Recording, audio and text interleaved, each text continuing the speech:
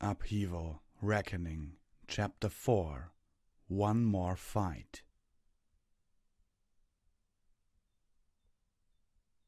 It had been less than a month since the Wolven captured Fangbreaker Fortress, and their great symbol of victory already represented something else a giant grave marker for its new Wolven defenders.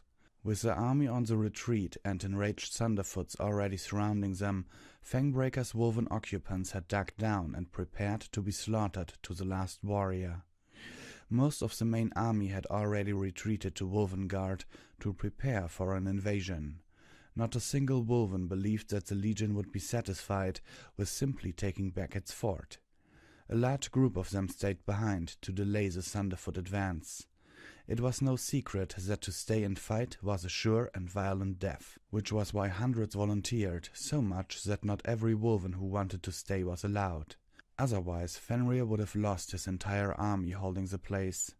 The Wolven didn't really understand the ultimate goal in conquering Equestria. They knew of their king's desire for fair Luna, but very few of them really understood it. Settling the land was no great prospect. Indeed, the few Wolven that had managed to journey into the western and southern portions of Equestria found the place uncomfortably warm and did not relish the idea of settling in such place. The final goal didn't matter, however. The fighting was what did. All of the warriors who had consigned themselves to the last stand had joined the army because it was simply the natural thing to do after growing up. The bloody death that accompanied that career at some point was accepted as a natural, even preferable, end to one's life. For Hasrock, that basic choice was not one without some pleasures. He picked his fangs off the last bits of sinew and threw it to the nearby pile of gnawed Wolven bones. As far as the physical meal was concerned, Hegeskra was an awful dinner. Far too gristly and bony. Hasrock enjoyed every bite regardless.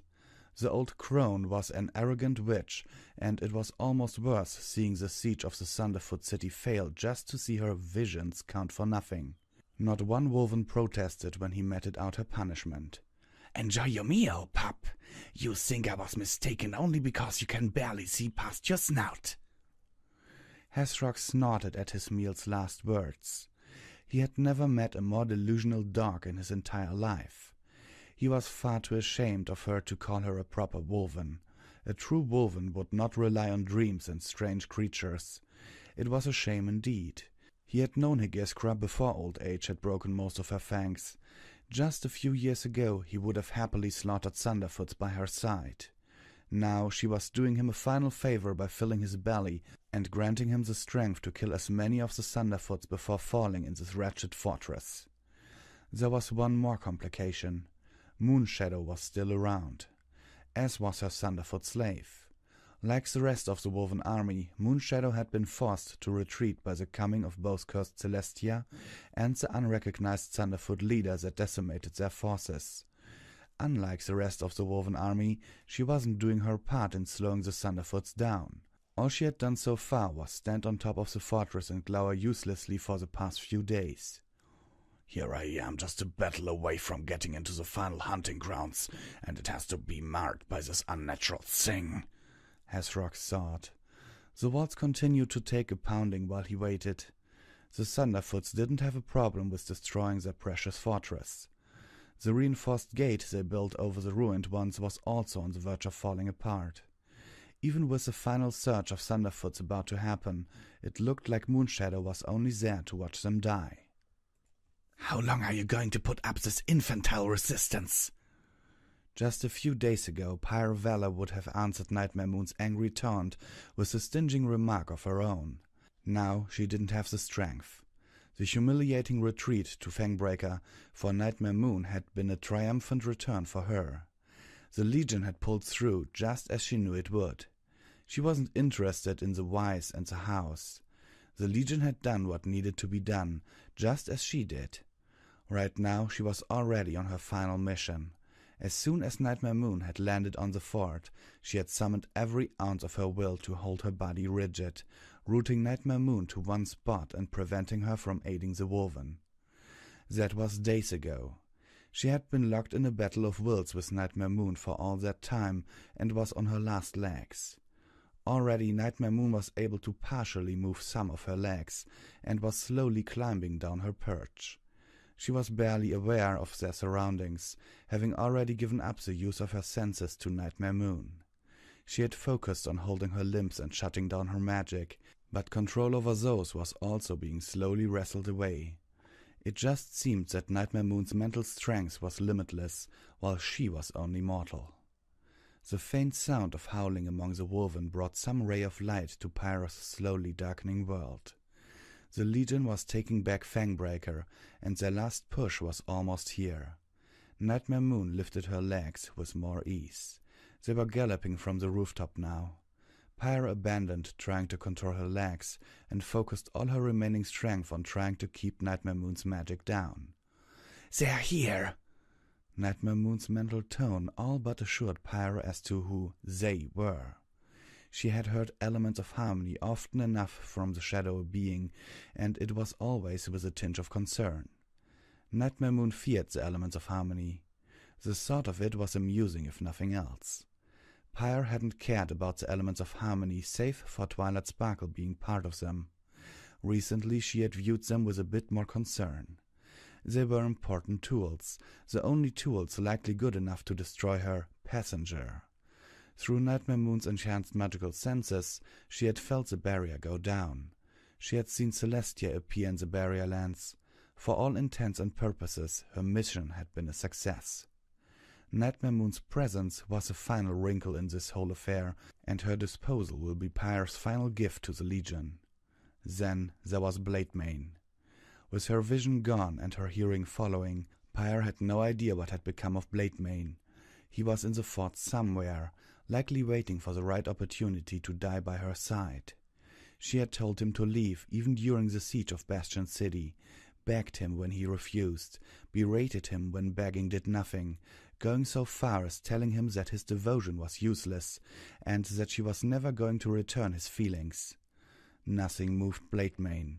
She would have been touched, but all she felt was a wish that it was Vanguard instead. A trickle of magic slipped past Pyre, and Nightmare Moon used it to float to the front gates.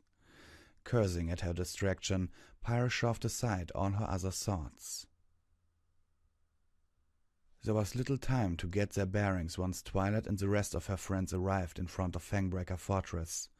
The Legion was pounding the front gates with catapult shot and fireballs. The snow had let up momentarily, providing a small measure of respite. Vanguard led them to the front lines, then went over to speak with the siege commander. How's the siege going? Vanguard asked. We're giving them a throughout beating. Losses have been minimal, and we're expecting the final charge pretty soon, the siege commander replied. What about Nightmare Moon? Twilight asked. The siege commander looked at Twilight, then glanced at Vanguard, unsure if he should reply or berate this legionnaire for speaking out of turn. When Vanguard nodded, he spoke with some reluctance. If by Nightmare Moon you mean that black flaming thing that's been perched on top of the fort throughout the siege, it hasn't moved an inch since we started attacking. The burning figure suddenly jumped from its perch and floated downwards. Well, will you look at that? the siege commander muttered, almost like it was waiting for your group. She was waiting, Twilight replied. Vanguard gestured for her and the others to move forward. Twilight, Vanguard said. He looked at the gates that the Wolven had constructed after Pyre destroyed the previous ones. Their enemies had done well with the time and material that they had, but there was no way that their makeshift gates could hold out much longer. It was badly scorched and splintered by the time he and his squad had arrived. Finish the job. Twilight stepped forward. There were still Wolven bolters on top of the gates, but the Pegasi were keeping them pinned with crossbow fire. There were also several Earth ponies in front of her, carrying enormous shields should a bolter risk getting turned into a bloody pincushion to take a shot. Upon Vanguard's order, she remembered the first time she came to the barrier lands with her friends and the horrific sight of the ruined gates of Fangbreaker. Pyre Valor had destroyed those gates. This time she was going to do something similar. She went through the spells she could use. A fireball won't cut it in one shot. No, she was going to have to use something with a stronger impact. Chunks of earth began to form in front of her, turning into a large sphere of red glowing rock. After a few more moments of concentration, the rock burst into flames. The siege commander looked on in awe. The meteor hurled towards the gates as if it was launched by one of their catapults. It struck the gates hard, splintering the wood and igniting it. In the next instant, it exploded into a massive blast of red orange flames.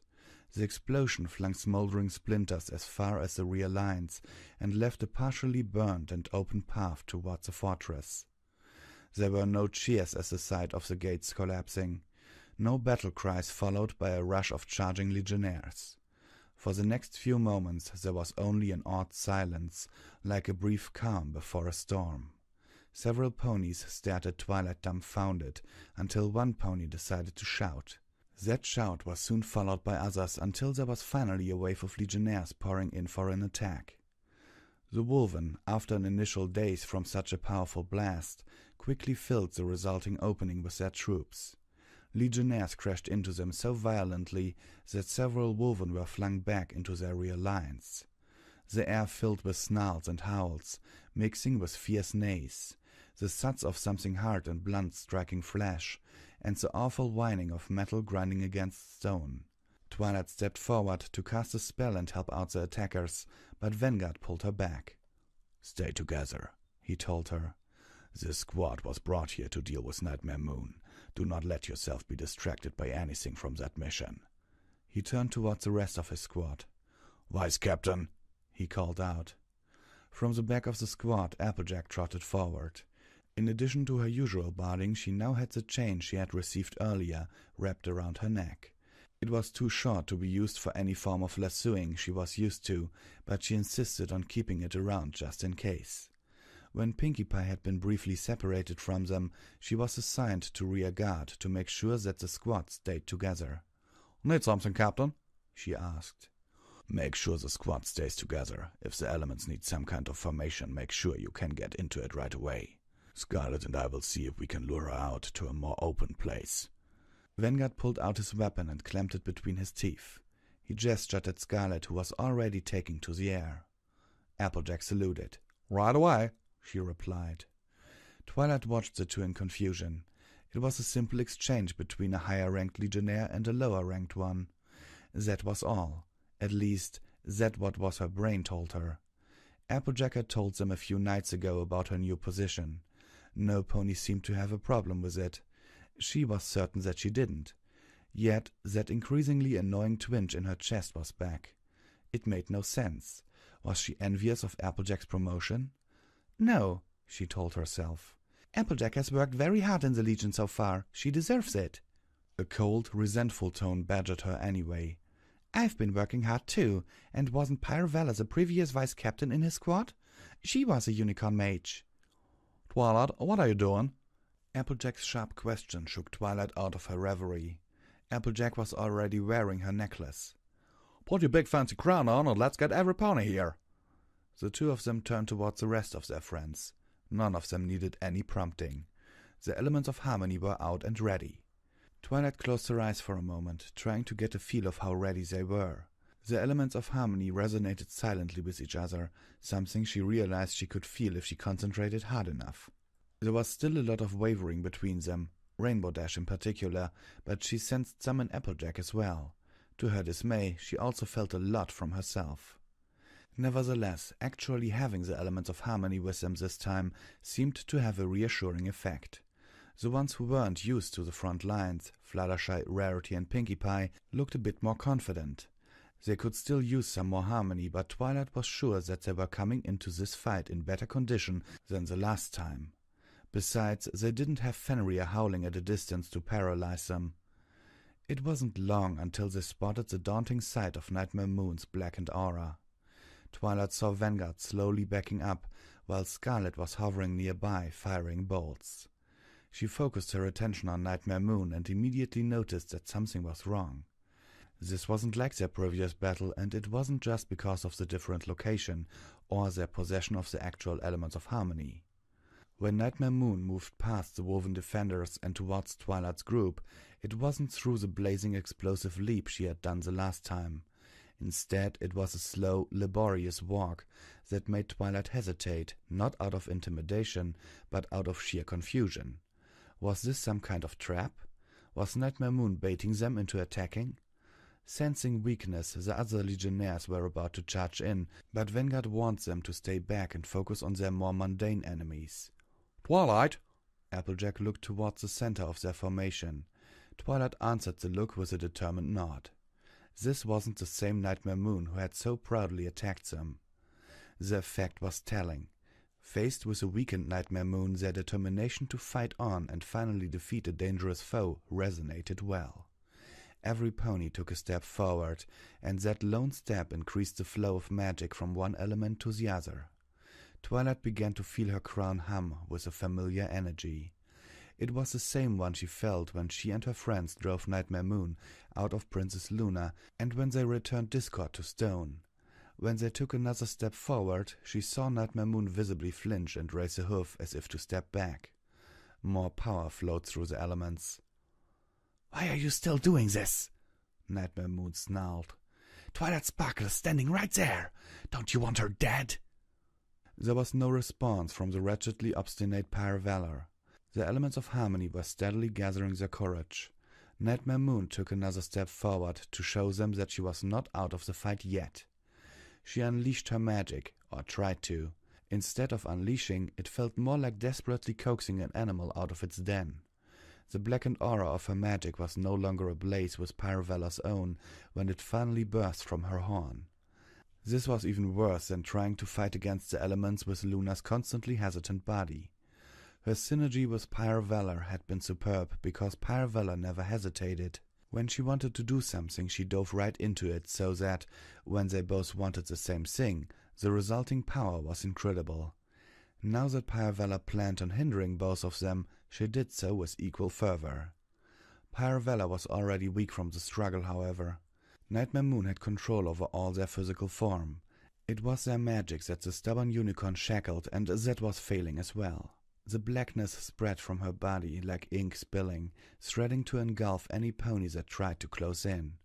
It was no field of dark tentacles, but it gave even the elements of harmony some pause. The pause didn't last long. Twilight Sparkle had likely gauged the amount of magic she was putting forth and realized how weakened she was. The unicorn's horn blazed with magic, while the crown on her head began to glow. A dispelling wave burst from twilight and smashed into the gathering darkness around Nightmare Moon. Her weakened array easily dispersed, like a guttering candle held up during a gale. Now! Twilight Sparkle cried out. More power swirled around the elements of harmony, centering on her crown. What started out as invisible wisps of power were now brightly colored streams of light. They swirled around until a prismatic tornado whipped into being. Nightmare Moon let out a cry of rage and frustration. It was happening again. For the second time she was going to be beaten back by toy-wearing foals. Let go, damn you! Nightmare Moon shouted at Pyre Valor. There was still no response. No words, anyway. To her rage, Nightmare Moon felt a measure of amusement coming from Pyre Valor. The miserable unicorn was actually pleased by what was happening. She considered abandoning the body, itself a painful process, but it was unlikely that she would find another body even remotely compatible. The prismatic cyclone enveloped Nightmare Moon, searing away any magic she tried to use. Desperate, she flailed her front hooves about to push away the inevitable banishing. Not again! she shouted in frustration. It couldn't end like this. Trapped in a failing fortress like a rat, then shoved aside by folds like a fly. She felt her grip on Pyre slowly tear away. Desperation seared away any other concern. The only option remaining was Oceanus tuum Achille obsecrat. It was a final plea said more out of rage than any realistic belief that aid would come. The firstborn was still dormant, as was nearly all his followers. But to complete her remaining tasks, she had to try. She wasn't going to face him with tasks still to be done, especially with all the opportunities she had been provided with. Twilight had to admit that seeing the elements of harmony working in full concert was a little surprising and immensely elating. She was worried that they wouldn't be able to get the elements to work. The light surrounded Nightmare Moon just like it did the last time. All it would take now was that final flash and Oceanus tum Achille obsecrat! The sudden outburst nearly caused Twilight to lose her focus. Oceanus. She had heard the name before. Hearing it from Nightmare Moon and closed her heart in an icy grip. The bright glare of hope that the elements gave forth wavered. Then Twilight saw it, a small spark of blackness that pierced the whirlwind of light surrounding Nightmare Moon. She felt the magic that accompanied that spark, a small yet chilling presence that sent the hairs on the back of her neck rising. Something was wrong. Something was going to go horribly wrong. The light from the elements flashed, but the brilliant white explosion was tainted by great arcs of blackness and a drawn out and unearthly scream that set Twilight's teeth on edge. One look towards her friends told her that none of them expected it. Around them, the Legion continued to fight against the remaining Wolven defenders, but several had stopped to see what was going on. That was when Twilight realized that something else was still coming after that blast, an immense explosion of harmful magic that could very well destroy her and her friends. Every pony, stand back! she cried out. She ran forward and raised a magical barrier. It wasn't as good as Applejack's golden shield, but it was more reliable for now. Just as Twilight predicted, another explosion, this one as dark as midnight, erupted from the still fading light. She gritted her teeth and concentrated all her magic on the shield. The last thing she saw was a wave of darkness advancing towards her, then nothing at all. The sudden explosion of darkness sent Applejack and the rest of her friends flying. Out of the corner of her eye, she saw Vanguard try to reach Twilight, only to be sent careening, his armor dragging loudly against the ground. She rolled on the ground for a good distance before finally coming to a stop. The clouds of dust and snow raised by the blast made her cough as well as obscured her vision. What in the hay just happened? she asked in between coughs. Did we do it? Rainbow asked as she dragged herself to her hoofs. She was just a few feet away from Applejack. Is Nightmare Moon gone? I don't know, Applejack replied. Things went a little too smoothly. Well, except for that second explosion, I can't believe something could explode twice. Is any pony hurt? Fluttershy called out. They saw her hovering silhouette approaching them. I'm fine, Rarity said from behind them. Pinkie here hit her head on the ground, but she's already recovering. I'm over here, Scarlet yelled. He flew through the dust and snow and landed next to Vanguard. Every pony, regroup on me. Vanguard called out from the cloud. They followed suit and soon found each other. Did you do it? He asked them once they had gathered. Has the threat been neutralized? I don't know, Applejack replied. I think. She stopped when she heard a faint, metallic crack sound just around her neck. Worried, she looked down on her necklace. To her horror, she saw a thin crack near the apple shaped jewel. The crack quickly spread into a spidery network of lines. No, she cried out. How in the? The cracks continued to spread for another second, then the necklace shattered into fine, powdery pieces. With a gasp, Applejack tried to save the fragments as they fell, but a stiff breeze caught them, blowing them all across the snowy plain. Cries of alarm from Rainbow and the others told Applejack that the same was happening to them as well. She looked to them to see Rainbow desperately crawling around and Fluttershy holding up an inch of gold chain, ready to burst into tears. How can this be? Rarity asked. The elements are gone. Applejack looked around. The dust had settled, and she noticed that a lot of the legionnaires around them were also recovering. Where Nightmare Moon was standing was now an empty, still smoking crater. Wait a minute. Applejack had looked around as well. Where's Twilight? he asked. With all of them now frantically searching, Vanguard walked over near the edges of the crater. As he did so, something crunched underneath his tramplers. He raised his hoof and looked down. On the ground was a crushed fragment of a large crown.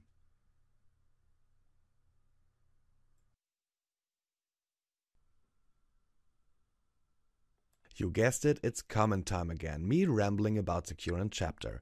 Okay, my opinion of this chapter was, well, it's good, but There are a few things I would have liked, especially when the Legion brought through. I would have liked a little more action, like a uh, little more fighting. Well, not just saying that they are like uh, charging into the Wolven. Okay, but that was okay because there was another part which I actually m- liked pretty much about this chapter, and that was Pyre Valor is holding back Nightmare Moon. Um, yeah, she tries to um, prevent her from helping the Wolven against the ponies, and she's actively resisting her and therefore helping the Legion. Um, she is, if I may say so, still loyal to the prince, but, well, her actions, like Vanguard said in another chapter of uh, Breaking Point, her actions condemn her. She went about it the wrong way. At least I think so. She made a mistake, a big one. She screwed up. But uh, she is still siding with the Legion when it counts. That's what I think here. I'd like to hear your opinion about it. Sincerely yours, Visual Pony.